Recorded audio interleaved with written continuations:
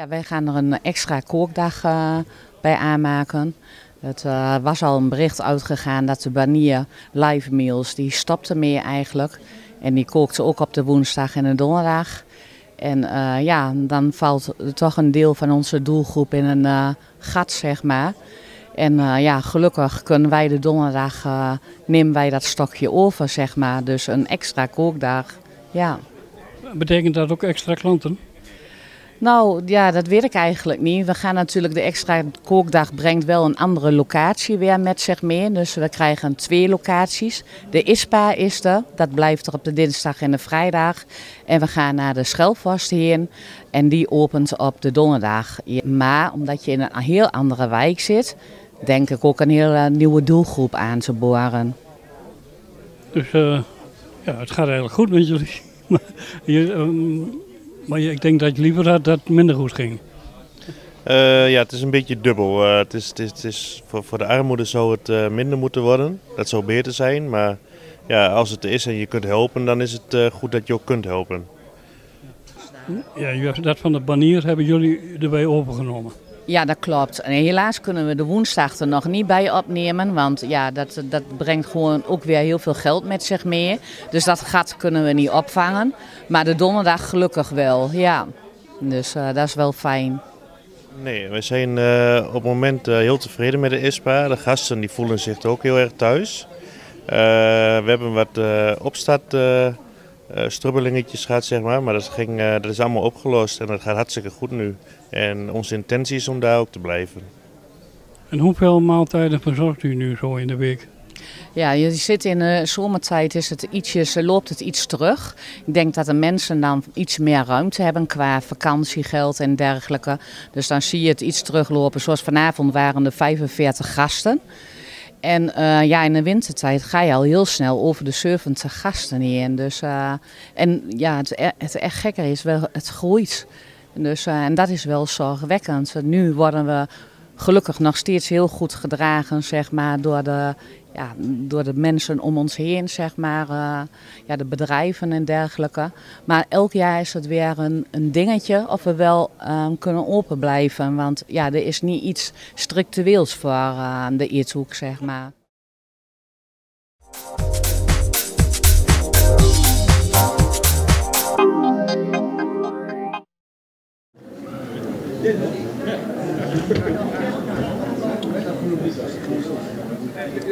Laat ik maar zeggen dat wij behoorlijk uh, boos zijn over wat er nu opnieuw is gebeurd bij die sloten.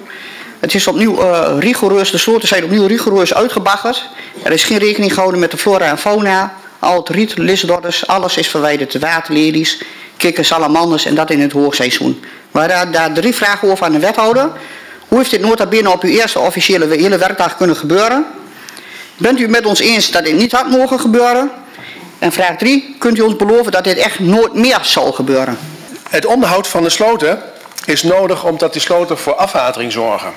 En uh, wij schonen de sloten op op basis van de flora- en faunawet.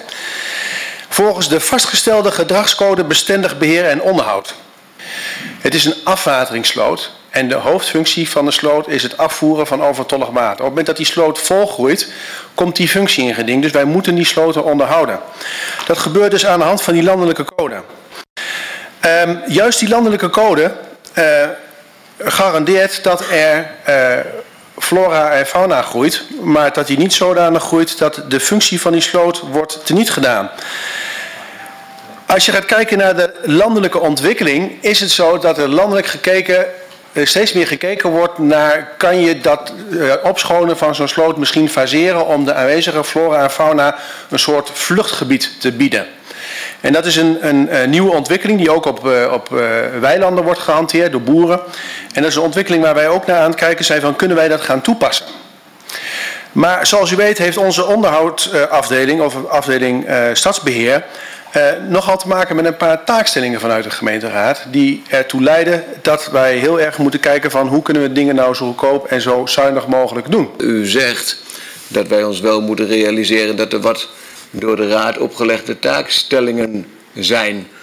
Maar wilt u daarmee zeggen dat de raadsvoorstellen die van het college zijn gekomen, die wij aangenomen hebben, niet deugden en dat die taakstellingen herzien moeten worden?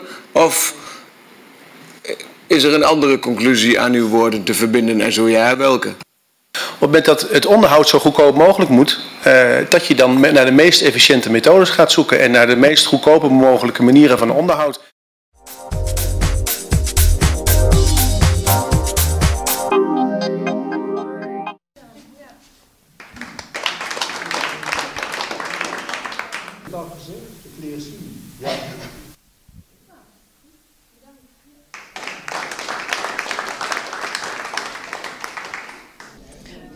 Is, een, uh, is de tentoonstelling van uh, de Jeugdkunstacademie. Uh, dit is, wordt elk jaar wordt het afgesloten met het werk van alle leerlingen. de Jeugdkunstacademie is een, een opleiding, een, een, samenwerkingsproject van Kaliber Kunstenschool en de AKI in Enschede. En wij hebben zowel in Almelo als in Enschede hebben we ja, opleidingen. En er zijn kijken, zes kunstenaardocenten aan verbonden die eh, de leerlingen lesgeven. We hebben twee groepen, een uh, kindergroep uh, tot uh, 11, 12 jaar en een jongere groep, dat is van 12 tot, tot een jaar of 18, 19. En hoe is de kwaliteit? Ja, heel goed, heel divers. Ja, maar we proberen de kinderen ook wat eigenheid bij te brengen. Dus ja, je ziet dat ze zich heel persoonlijk ontwikkelen, een eigen, eigen plan trekken. En, uh, wat denkt u, komt hier een beroemde kunstenaar uit voort? Dat zou kunnen. Ik kan het niet uh, beloven. We hebben wel uh, dit jaar een leerling die gekozen heeft voor de kunstacademie. Dus die, gaat, die heeft toelatingsexamen gedaan en die is aangenomen. Dus de Jeugdkunstacademie is ook bij uitstek heel goed om te werken aan je portfolio. Of als je later naar de kunstacademie wil, dan kun je een cv op, ja, een soort portfolio opbouwen. Ja. Uh, hoe lang blijft deze tentoonstelling hier nog? Ja, deze blijft tot uh, eh, 1 september te zien. We hebben een uh, inkijkmuseum. Daar kun je van buiten, kun je, ook s'avonds kun je dat heel mooi bekijken. En als, gewoon, gedurende de ja, normale openingstijden kun je altijd hier komen kijken.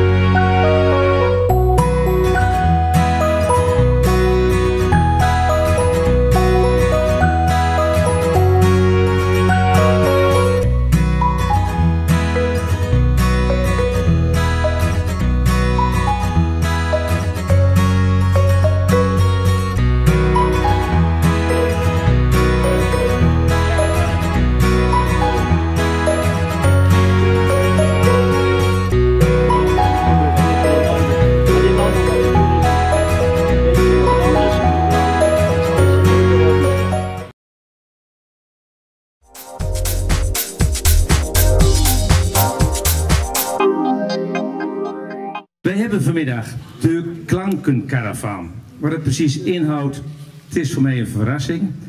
Ik heb ze wel eens eerder gezien op een andere school. En ik was er zo enthousiast over dat ik dacht van... hé, hey, dat is ook typisch iets voor onze school hier, de Montessori school.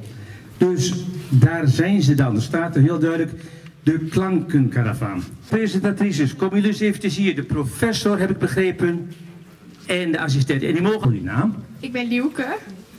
En ik ben Tessel. Geef ik jullie de microfoon. Of krijgen jullie een andere? Allebei even. Veel succes. Door één druk op de knop zal ik mijn assistent naar een andere tijd sturen.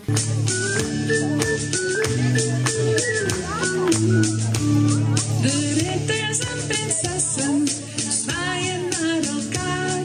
Dan maken ze een buiging en is het liedje klaar. Ik sta hier bij iemand van de Klankenkaravaan. Met wie heb ik uh, hier te maken?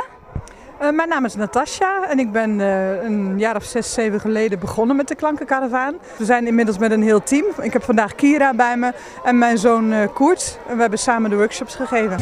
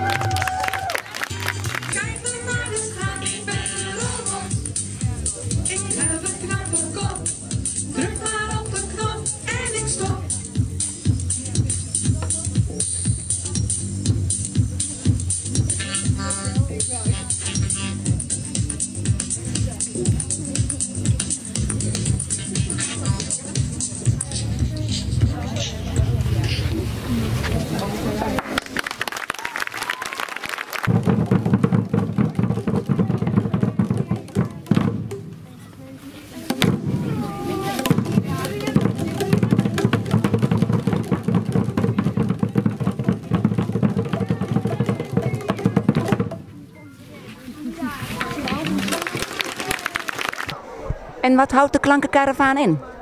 Nou, het is ontstaan. Mijn achtergrond is vakdocent muziek. En mijn man is heel veel met muziek bezig. En we hebben dat op een gegeven moment gecombineerd. En um, ik ben gestopt in het onderwijs. Ik had een baan als vakdocent muziek.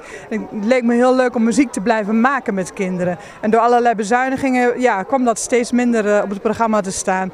En toen dacht ik, nou, wij gaan gewoon zelf het land door en muziek maken met kinderen. En zo is het eigenlijk uh, ontstaan. En ook de naam Caravaan geeft een beetje aan, ja, je trekt rond en iedereen kan aansluiten. En dus inmiddels hebben we ook uh, 10, 12 vakmensen die met onze caravaan meegaan. Ja, en vandaag mochten jullie naar de Montessori. En hoe was het om hier in Almelo met de kinderen aan de slag te gaan? Nou, ontzettend fijn uh, gewerkt vandaag. We zijn het onderling. De kinderen uh, deden ontzettend goed mee. Je kunt ook merken dat ze hier ook muziekles krijgen op school. Dus de ritmes uh, die zaten er heel snel in. Ik was ook vlot door de, de workshops heen. En ja, ja, je merkt het toch wel. Of kinderen veel zingen met hun juf of, of dat er wat aan muziek gedaan wordt. Maar dit was hier ja, fantastisch. Leuke sfeer. team heel betrokken. Dus ja, super dag gehad.